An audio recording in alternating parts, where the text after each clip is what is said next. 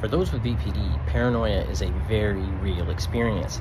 Now, it tends to come out of high stress situations. This can be the loss of your favorite person, this can be uncertainty about your job or your family members or how you'll be treated.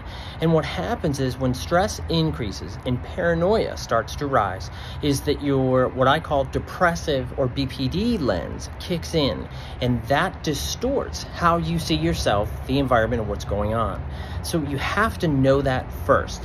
Stress increases, that BPD lens takes over, turns everything negative, and that amps up a lot of your core content and a lot of your fears. This can drive you to act out impulsively towards yourself or others. The key is to know it, build insight, because we know that that is one of those universal criteria, impaired insight, that drives BPD and keeps it in place. Push back do well, and I'll see you next time.